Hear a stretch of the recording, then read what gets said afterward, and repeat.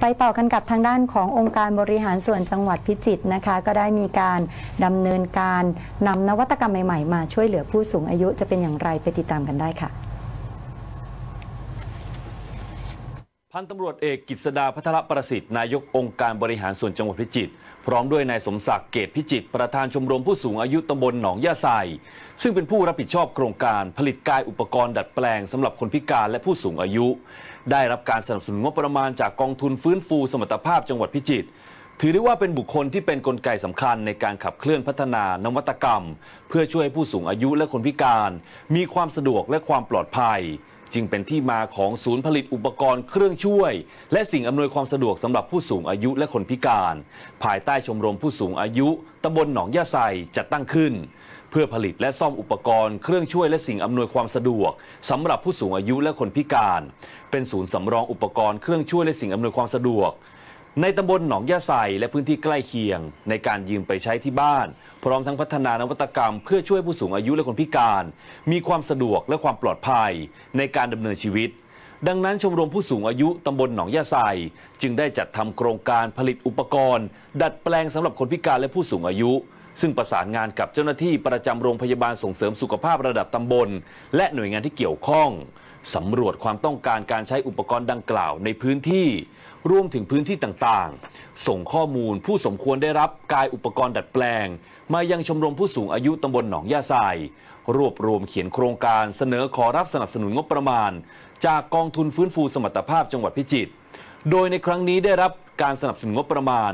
กายอุปกรณ์ที่ดำเนินการผลิตมีจำนวนถึง 67 รายการ งบประมาณที่ใช้ 194,422 บาท ปัจจุบันจังหวัดพิจิตรของเรามีคนพิการทุกประเภทรวมกันกว่า 30,000 คน และมีผู้สูงอายุกว่า 100,000 คน ทุกท่านได้ตอบมาแล้วนะครับว่าอยากให้มีการมีศูนย์ยืมกายอุปกรณ์ในแต่ละอำเภอ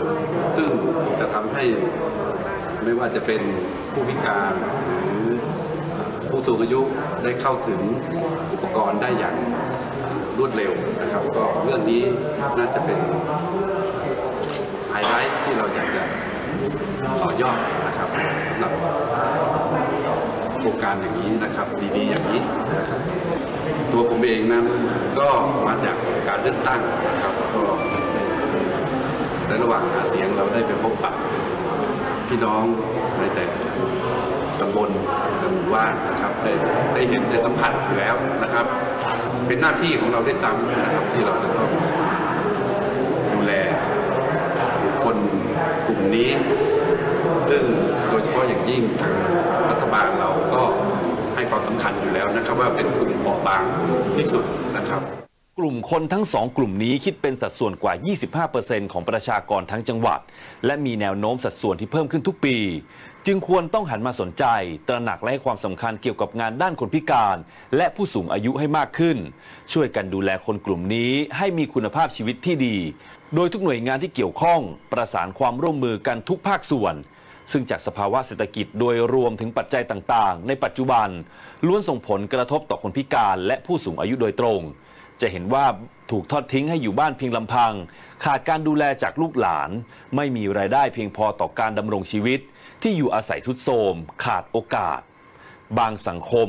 ขาดการเข้าถึงสิทธิต่างๆ ที่สมควรจะได้รับ ดังเช่นนโยบายของรัฐบาลในปัจจุบันที่มุ่งเน้นช่วยเหลือคนพิการและผู้สูงอายุ เป็นกลุ่มเป้าหมายที่เปราะบางที่สุด สมควรต้องได้รับการดูแลและช่วยเหลือเป็นกลุ่มแรกในสังคม ซึ่งเป็นเหตุผลสำคัญ ในการสนับสนุนโครงการดังกล่าว ภายใต้การขับเคลื่อนช่วยเหลือขององค์การบริหารส่วนจังหวัดพิจิตรต่อไปในอนาคต สมเกียรติเจริญสะอาดถ่ายภาพ มินสาตราคม สถานีวิทยุโทรทัศน์แห่งประเทศไทย จังหวัดพิษณุโลก รายงาน ค่ะคุณผู้ชมคะคุณนัฐาคะต้องบอกค่ะว่าการดูแลกันและกันเนี่ยนะถือเป็นเรื่องที่น่าที่จะทุกหน่วยงานเข้ามาให้ความดูแลค่ะยิ่งถ้าเกิดมีหน่วยงานเข้ามาให้ความดูแลแบบนี้แล้ว พี่น้องประชาชนที่เขาอยู่ในกลุ่มเปราะบางเนี่ยเขาก็จะมีกำลังใจมากยิ่งขึ้นด้วย